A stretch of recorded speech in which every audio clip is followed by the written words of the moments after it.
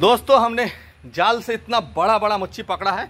दो पिराना है, दोस्तों इसका साइज़ देखने लायक है दोस्तों। ये पिराना मच्छी अभी भी बिना पानी का ज़िंदा रह सकते कुछ टाइम हम इसको वीडियोग्राफी के बाद इसको पानी में छोड़ देंगे दोस्तों। लेकिन इसको दो दो पिराना है एक नहीं दो पिराना है। अब देख सकते हैं। इसका पेट के नीचे का हिस्सा दिखाता हूँ। ये पतला है और रेड कलर का है। ये देखो। ये राउंड शेप्ड फ़िश है दोस्तों। इसका पूंछ भी देखो रेड कलर का है। इसके गले का नीचे जो हिस्सा है, ये भी रेड कलर है। यह पिराना फ़िश जानने के लिए इसका दांत चेक कर पहले। तो इंसानों जैसा दांत है।